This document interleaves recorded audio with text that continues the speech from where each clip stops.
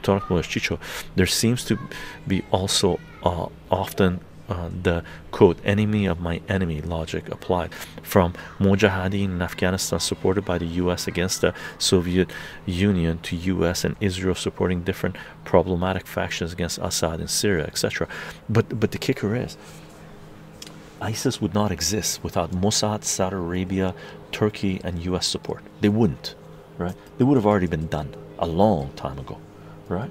So they're no longer the enemy of my enemy. They're the proxy.